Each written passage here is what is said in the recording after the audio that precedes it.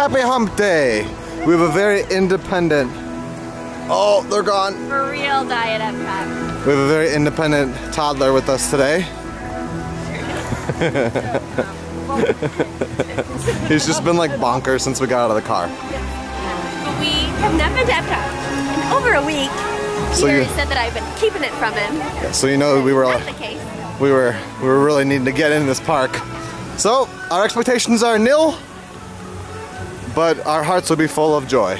And James is just in his own world. Bye, James. Meet you at World Showcase. And what does this mean? Epcot Park update. Spaceship Earth closed for refurbishment July 19th. What is that about? I'm like, I get panicked because before COVID, it was supposed to get like a full gut redo.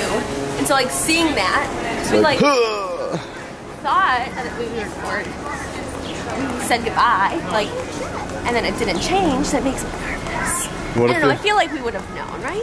I think we would have known, yeah. Refurbishment doesn't mean Yes. Maybe there'll be soft opening of Secrets of Water Life Extravaganza Moana Express, whatever this area is called. We took the little seat off. Do you like it, James? Yeah? While our little brother snoozes, we're gonna go to the Imagination Institute. Is he Figment? Hello. On your tour, you'll see how the five human senses can help capture your imagination. Oh, oh, can I go too? Absolutely not. With just a spark of inspiration, I made my house an innovation. So, as you can plainly see, imagination works the best when it's set free. You said it, Doc. Imagination is a blast. Imagination, imagination. We're just that far from me and you. Imagination. I think this is such a cool space. I was really bummed that they didn't end up like expanding the festival center to be that play area, whatever it was called. That was gonna be cool. I also surprisingly didn't just like I was going through my emails just now while they're on the ride, and uh, typically just go ahead and delete like Disney surveys if I've recently done one, and I recently did one with our Moonlight Magic.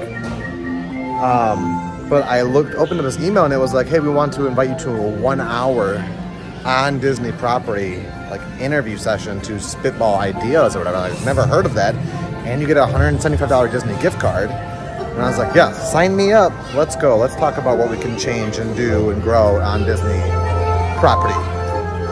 Go to do the survey, and it was like all these questions about like what you or somebody in your family does to make sure to like weed you out of potential groups.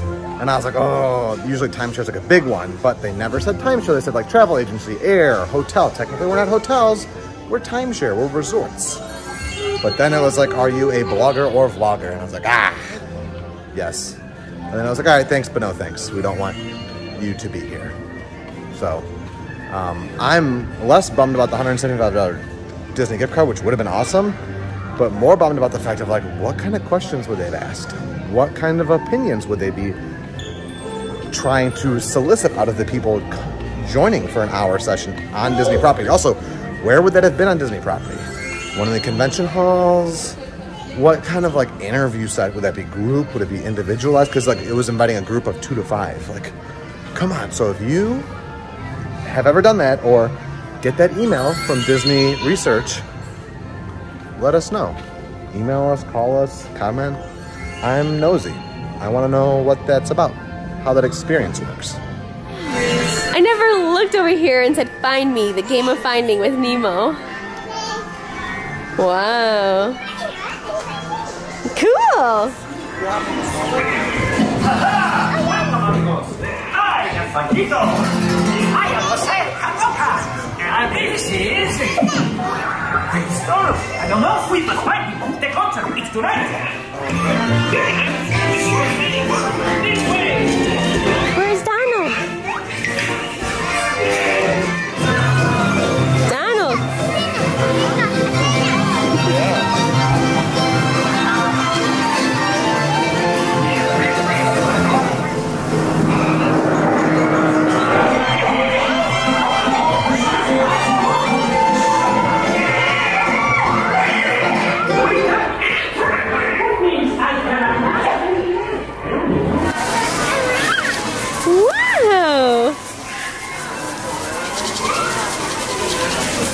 Little free time in the Mexico Pavilion. A lot of just for looking in the Mexico Pavilion. Wow. We're big fans of the Mexico Pavilion, huh? All the food and wine signage and buildings are coming up. Starts the 27th. I feel like we did the same shot last time. 27th of November.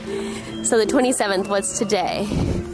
It's like a week and a half away. We will be singing our songs and eating our eats.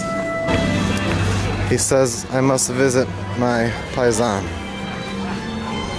Just, can we talk about the gorgeousness, the sun setting? Oh! Wow. Let's go shopping. Hey, mamma mia. Mamma mia. Mamma mia. That's Teddy's newest fun trick. What, you want to get out too? Wow, we don't always come over to this little alcove. It's a boat. You see the boat? You look like a gondolier with that shirt on. Hop in, babe. Start singing the song. You gonna hop the fence? It's against the rules, I think. We love Regal Eagle for many reasons, but one of the main ones is they have a fountain beverage that like you dispense your own. And so I was able to get ice cold water all the way filled up right there, ice and everything. There's not a lot of those left in the wilderness, so always take advantage of them. And like keep note of where they are, because I feel like, I don't know, that used to be like key information I had. I gotta write that down. I'll write it down and I'll put it in the description. Just an absolutely gorgeous World Showcase Lagoon with a Disney duck right there. Who would have thought at Disney we would have found James's favorite non-Disney thing right now? Mario. Can we put it back? Say bye-bye. Maybe there'll be other Mario stuff. We're in Japan, soaking in some AC. And this area that used to have jewelry has so much different memorabilia.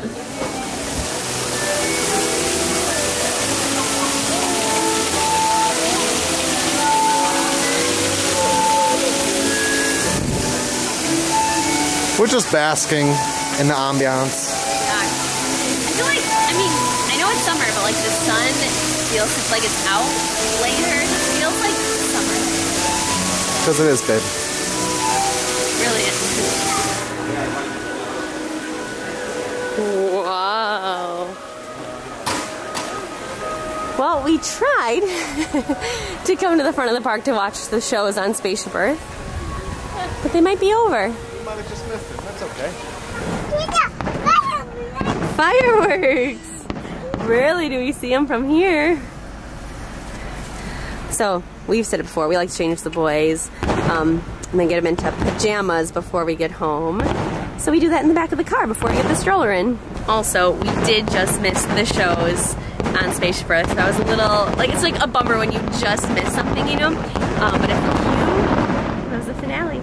If you're interested in watching the shows, I would suggest, if you're like ending your night with that, going like 15 20 minutes before park close it will it will light back up after the fireworks but it stays like just like illuminated like barely like just like a couple little lights here and there during the fireworks so it doesn't take away from the fireworks but like right now no more shows will take place on it but it will be lit up but if you want to see the shows like us we're gonna have to come back and try again and see it like 20 minutes before park close We're in the dark night, and we're here to say it's good to.